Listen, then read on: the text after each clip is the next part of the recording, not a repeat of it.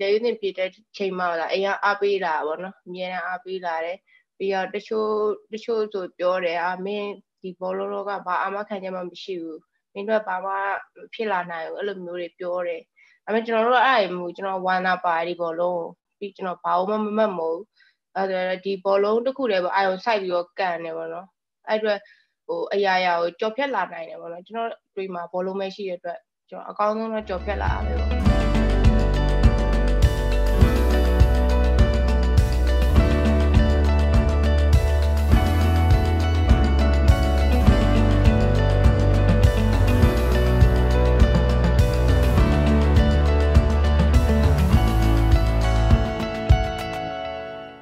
ကဘယ်ဇာတိလဲကျွန်တော်ကရန်ကုန်ဇာတိပဲရန်ကုန်ရေးလဲကြောက်တန်းတန်လင်းမြို့ပေါ့နော်ရေးလဲကြောက်တန်းမှာနေ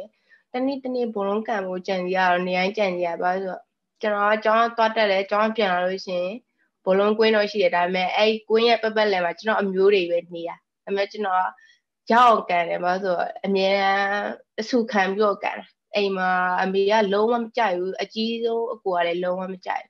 ကြိုက်တာဆိုအလက်ကောင်တယောက်ပဲသူကအားပေးသူဘောလုံးကန်ကျွန်တော်ခေါ်ခေါ်သွား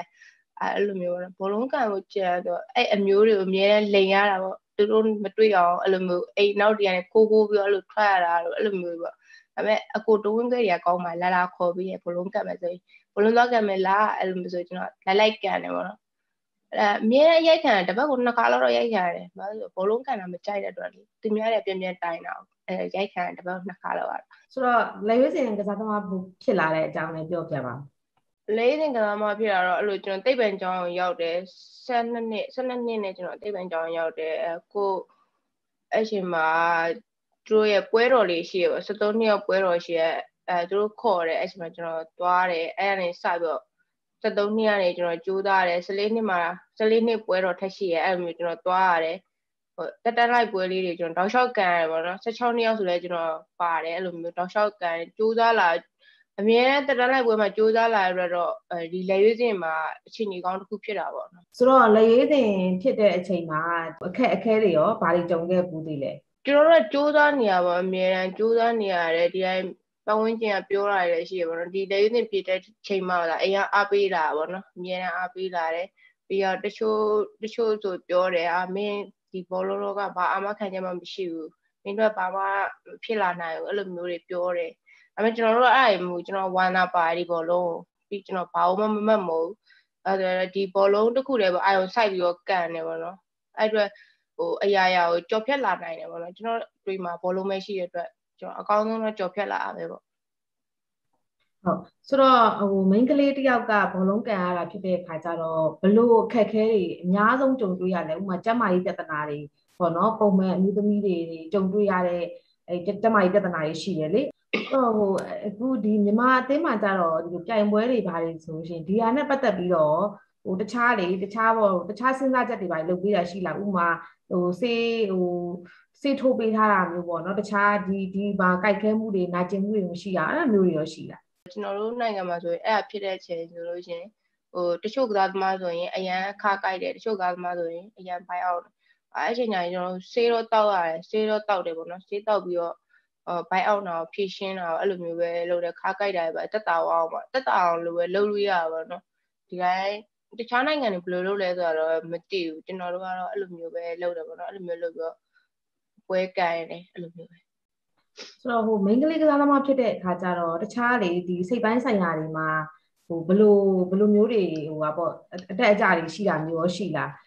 main ကလေးကစားသမားဖြစ်တော့တော့စိတ်ကတော့အမြန်နှုတ်ကြအများပါဘာလို့နှုတ်လဲဆိုတာခံစားမှုလွယ်တယ်ပေါ့ဗျာဘာဖြစ်တခုခုဆိုရင်လည်း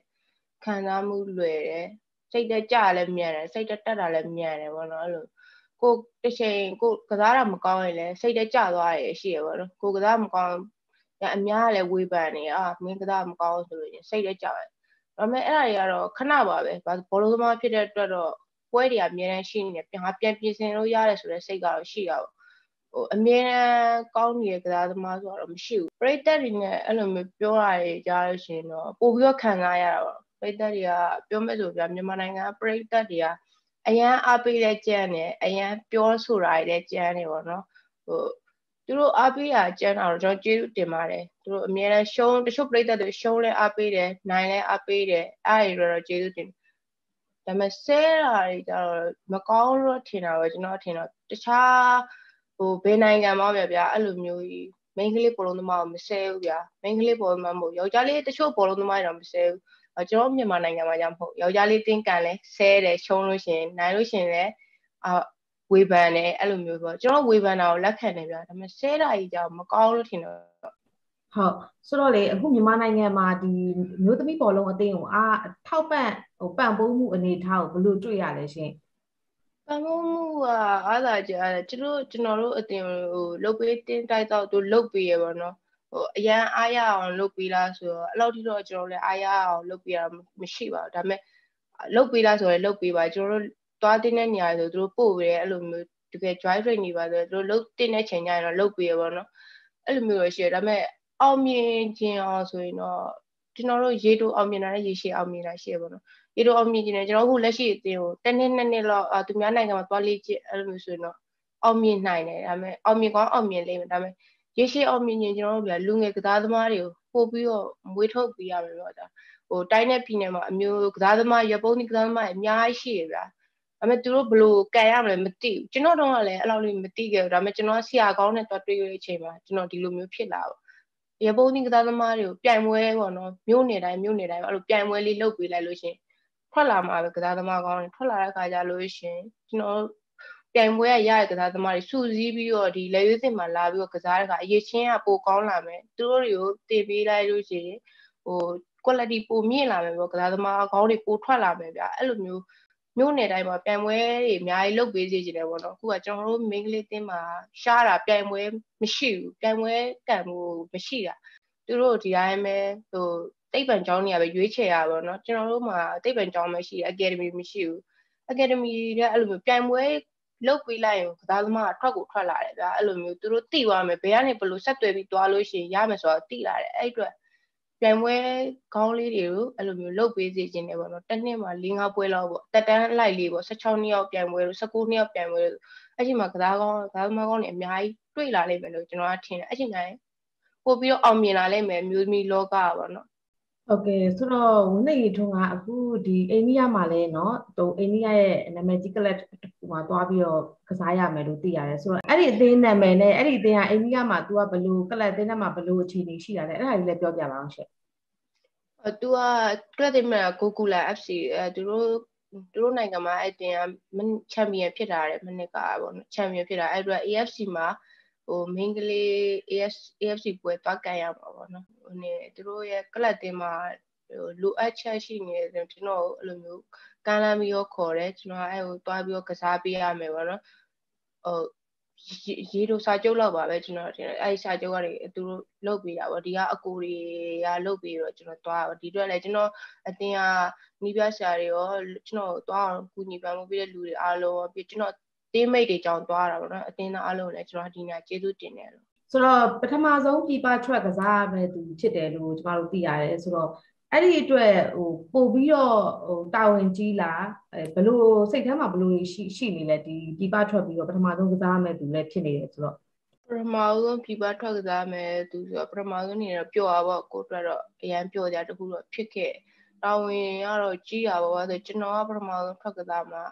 ပြီးကျွန်တော်လာအဲ့မှာကောင်းကောင်းမွန်မွန်အကောင်းဆုံးနေတဲ့ခြေသွမ်းပြကစားခဲ့မယ်ဆိုရင်နောက်ကကျွန်တော်ရဲ့ဂျူနီယာကစားသမားတွေထွက်ပြီးတော့တွားပြီးတော့ကစားလာနိုင်မယ်အဲ့အတွက်လမ်းစာတွေအများကြီးပွင့်သွားမယ်ခုတယောက်ကနေနောက်ထပ်3-4ယောက်အဲ့လိုမျိုးခေါ်လာနိုင်အောင်ကျွန်တော်အများကြီးစူးစမ်းရဖို့ဘက်မှာဟိုကိုယ့်ရဲ့နေမှုထိုင်မှုအစားအကုန်ပြင်ဆင်ပြီးတော့နေရမယ်အဲ့လိုမျိုးတွေပြင်ဆင်ပြီးတော့မဝင်းသိရင်ထုံပြေသွားတဲ့ထဲမှာပါတယ်ပေါ့နော်ဒီဘောလုံးအကစားကအမခံချက်မရှိဘူးပေါ့နော်အသက်ကြီးလာရင်ဆိုပြီးတော့ မိတ်ဆွေဒါအမျိုးတွေကပြောကြတယ်ဆိုတော့မဝင်းသိရင်ထုံကရောဒီအတွက်ဘယ်လောက်ပြင်ဆင်ထားလဲအဲ့ဒီလိုမျိုးတွေမဖြစ်အောင်လေရွေးစီကစားသမားတယောက်ကိုနိုင်ငံကတန်မိုးထားအောင်ဘယ်လိုဖြစ်စေတင်တဲ့စိတ်တွေရှိလဲအဲ့ဒါလည်းသိပြရစေရှင်ငကိုတွေကဟိုရည်ရွယ်ချက်ကဘောလုံးကတ်မှုပဲရှိတယ်ပြီးကြတော့ဟိုအသက်ကြီးလာလို့ရှိရင်ဘလို့ရင်ဆိုင်ရမလဲဆိုတော့မသိဘူးဒါပေမဲ့တချို့တွေကတော့နီးပြဆရာကြီးပြန်လုပ်လို့ရတယ်တော့ပြောတယ်ကိုကနီးပြဆရာကိုကနီးပြဆရာဝါနာပိုင်တော့ အပြင်ရောက်ပါပေါ့နော်အဲ့လိုမျိုးပေါ့အပြင်လိုက်ပဲသွားမှာအပြင်စီးပွားရေးတစ်ခုပဲလုပ်ရမှာကိုကိုကအသက်ကြီးတဲ့အထိဒီအလုပ်ကိုလုပ်မယ်ဆိုရင်နီးပြဆရာ line တစ်ခုပဲသူတို့ပေးလို့ရမယ်ကျန်တဲ့အာမခံချက်ကသူတို့ဘက်ကတော့ဟိုအဲ့လောက်ထိမပေးနိုင်သေးဘူးပေါ့နော်။ဘာလို့အဲ့လောက်ထိလည်းမတွင်ကျယ်သေးဘူးပေါ့နော်ကျွန်တော်တို့ဘက်မှာအဒီ attack ဒီဘောလုံးသမားနားသွားပြီဒီဘောလုံးသမားကိုဘယ်လိုလုပ်ပြရမလဲဆိုတော့အဲ့လိုမျိုးတော့မရှိသေးဘူးအခုချိန်ကြီးတော့ပေါ့နော်အခုကတော့လက်ရွေးစင်ကနေမဟုတ်တော့ဘူးဆိုရင်ဒီ ဟိုထောက်ပံ့ဟိုအားပေးမှုဆိုတာထက်ပေါ့တန်မိုးထားမှုလည်းကြောက်ဆုံးသွားတယ်လို့ပြောကြတာပေါ့နော်ဆိုတော့အဲ့ဒီအပိုင်းမှာရောဘယ်လိုဖြစ်စေချင်လဲဘောလုံးသမားတိုင်းကဘာတန်မိုးထားစရာကောင်းပါတယ်ဘာလို့သူများမလုံနိုင်တဲ့အလုပ်တခုလုပ်နေရဘူးအခုဆိုဟိုပျောက်သွားတယ်လေယူစင်ကသမားအများကြီးပဲရှိရပေါ့နော်ရှိပါသူတို့တွေကိုဟိုဘာဖြစ်ဖြစ်တနေ့တခါအဲ့လိုမျိုးတွေးဆုံပြီးတော့အဲ့လိုမျိုး သူတို့ရဲ့စီညာကြီးတွေကိုဒီတက်တန်းလိုက်ကစားသမားတွေကကြောတာပဲဖြစ်ဖြစ်အဲ့လိုမျိုးလေးတော့ဟိုအတိမပြုတ်လုပ်ပေးစီရှင်တယ်ပေါ့နော်တနေ့တခါတော့ဟိုဒါပေမဲ့ယောက်ျားလေးဟိုအကြီးတင်းအကြီးဘက်မှာလှုပ်တယ်ပေါ့နော်အဲ့လိုမျိုးကျွန်တော်တို့ main ကလေးအမျိုးသမီးအတင်းကိုလည်းအဲအဲ့လိုမျိုးလေးလှုပ်လှုပ်စေရှင်တယ်ပေါ့နော်သူတို့တွေဟိုတနေ့အိမ်မှာနေနေတဲ့အချိန်မျိုးပြီးကျွန်တော်တို့တွေအဲ့လိုမျိုးသူတို့ဖိတ်မယ်တနေ့တခါဒီလိုတည်င်းကျိုးကာလာမှာပဲဖြစ်ဖြစ်ဖိတ်ပြီးတော့သူတို့ကျွန်တော်တို့ဟိုအတိမတ်ပြုကြောတာမျိုးပဲဖြစ်ဖြစ် အဲ့လိုမျိုးကာရာပြုလှုပ်စေချင်တယ်ပေါ့နော်ဒါမှသူတို့လည်းငါတို့တချင်ကကစားခဲ့တဲ့ကစားသမားတွေပြန်လဲစုံစည်းပြီးတော့သူတို့ချင်းချင်းစကားတွေပြောကြမယ်အဲ့လိုမျိုးပြောစရာနေ့တနေ့တော့ဖြစ်သွားမှာအဲ့နေ့လေးကတော့ဟုတ်မိန်းကလေးဘောလုံးသမားဆင်းရဲတာများတယ်ဗျယောက်ျားလေးလို့ဟိုချမ်းသာသွားတာတွေပါအဲ့လိုမျိုးဗျပတ်စံကားတွေပါဝယ်နိုင်တဲ့အထိမဖြစ်ဘူးဘယ်သူမှအခုလက်ရှိကြည့်တယ်ဘယ်ကစားသမားမှမဖြစ်ခဲ့ဘူး ဟိုကိုပိုင်အိမ်တို့ကိုပိုင်ကားတို့ကိုပိုင်တိုက်ခန်းတို့ဘယ်သူမှမမဝယ်နိုင်ဘူးဘာလို့ပံ့ပိုးမှုအားနည်းတဲ့အတွက်ပါဒါတော့ကျွန်တော်တို့ခုရတဲ့လာသားလေးနဲ့အကောင်းဆုံးချစ်ပြီးတော့ဆုဆက်ပြီးတော့အိမ်ဝယ်ပေးနိုင်လောက်တာပဲရှိတယ်ကျွန်တော်တို့ရတဲ့ဟိုဒါဟိုအဲ့လိုမျိုးဝယ်နိုင်တဲ့အနေထားတွေမရောက်ခဲ့ဘူးအဲ့အတွက်သူတို့ဘောတော့တစ်လားတစ်ခါဟိုပံ့ပိုးပေးနိုင်တာပေါ့တစ်လောက်အဲ့လိုမျိုးတက်သိန်းလောက်ပဲဖြစ်ဖြစ်၈000လောက်ပဲဖြစ်အဲ့လောက်အဲ့လိုလေးပံ့ပိုးပေးနိုင်တော့ပိုကောင်းတာပေါ့ဘာလို့မင်းကလေးပုံသမား အဲ့လိုဝယ်နိုင်တဲ့လူတွေမရှိဘူးအရန်ခက်ခဲသွားတာပဲဒီလောကနာဝိုင်းအရန်ခက်ခဲသွားတာပဲဘာဖြစ်လို့လဲဆိုတော့ဒီလောကမှာကျတော့ဒီကရရလာတာနဲ့ရှင်းတန်လို့ရတယ်ဗျာအပြင်ရောက်သွားလို့ရှိရင်ဘောလုံးမှာပဲကန်ခွဲတဲ့အတွက်အပြင်ရောက်ရင်ဘာလုပ်ရမလဲဆိုတော့မသိတော့စီးပွားရေးလောကဆိုတာလည်းဘာမှမသိတော့အစအနေပြန်စားရအရာလုံးအဲ့အတွက်ပို့ပြီးတော့ခက်ခဲသွားဟုတ်လာတာပိုင်းနေဆိုလို့ရှိရင်လည်းကျွန်တော်သုံးနေရတယ်ဒါပေမဲ့ကိုယ့်ရဲ့အသုံးစရိတ်ကိုပဲမိဘကိုပြန်ပြီးတော့ပေးရတယ်ဒါတွေကတော့နည်းနည်းရုန်းကန်ရတာပေါ့နော် ခုလိုလားကျွန်တော်ဒီလိုမျိုးကြေးသားသွားကန်ရတာပေါ့နော်ဒီလိုမျိုးသူများရဲ့ခေါ်သွားကန်လာကျွန်တော်ကပို့ပြီးတော့အဆင်ပြေသွားတာပေါ့နော်အဲ့လိုမျိုးဒီလာတာပိုင်းတွေကိုလည်းကျွန်တော်တို့နည်းနည်းလေးတော့ဟိုတိုးပေးစေစီခြင်းနေပေါ့နော်ဖြစ်နိုင်မယ်ဆိုဘာလို့ဆိုတော့သုံးသိန်းကအရန်နည်းတယ်ပေါ့နော်ဘာလို့ဆိုတော့ဟိုကျွန်တော်တို့ဖက်တင်ရဝယ်လာလို့ရှိရင်ဘာမှမရှိတော့လာတာအဲ့လိုမျိုးဖြစ်သွားတယ်ရှိပါ